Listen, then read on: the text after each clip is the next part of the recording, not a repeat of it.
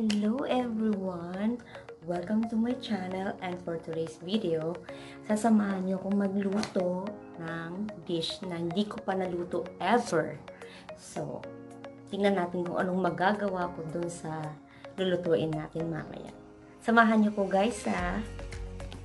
Actually, hindi ko pa talaga alam anong lulutuin ko. So, mag experiment tayo. Diyos ko pa eh, pa yung tunog, ano tawag dito, yung tahol ng aso dito sa kapitbahay namin. So, siguro, maya-maya ng konti, tingnan natin kung ano yung pwedeng ipresenta doon sa tawag dito, sa, sa asawa ko pagka uwi niya.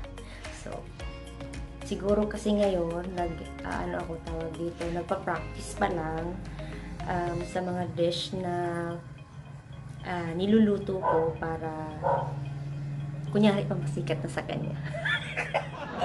so, kunyari pa antabayan ninyo mamaya ha. Hmm, hi! So, ito lulutuin ko ngayon. Beef with oyster sauce. Tingnan natin kung anong magagawa ko rito. Chamba-chamba lang to. So, we'll see. Ayan, pakuluan muna natin yung beef. Tapos, isit aside natin yung um, sabaw niya. Yun yung gagamitin natin later on.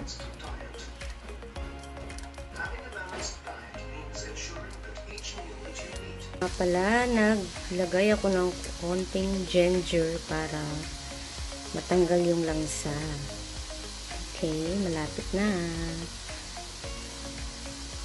Lagyan natin ng konting oil para magisa siya.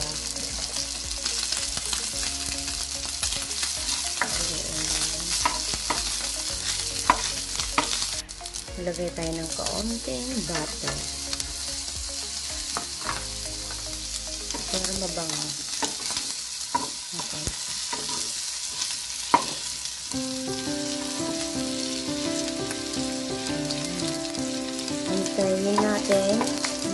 Na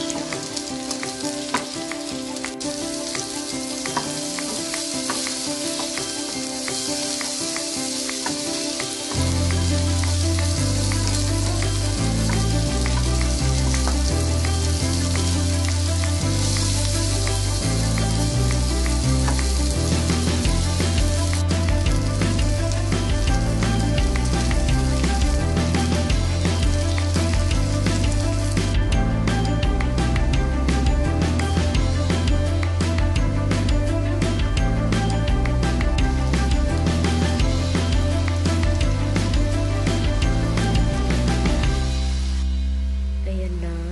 Nilagay ko nga pala yung sabaw kanina na pinakuluan natin sa beef. Ayan na siya.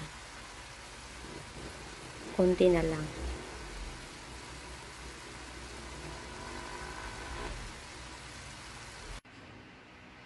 Ayan na!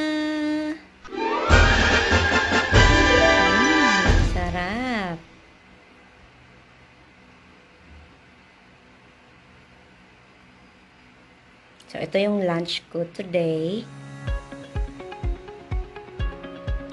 Beef with oyster sauce.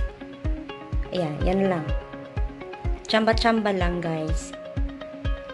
So, dahil, ano, tawag dito, I have an allergy sa chicken and seafoods. So, laging beef and pork yung laman ng ref ko, tsaka fish.